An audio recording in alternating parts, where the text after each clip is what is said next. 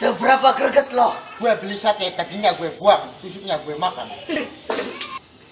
Seberapa greget lo? Gue belum mandi selama satu tahun. Seberapa greget lo? Kemarin gue goreng ayam pakai minyak kayu putih.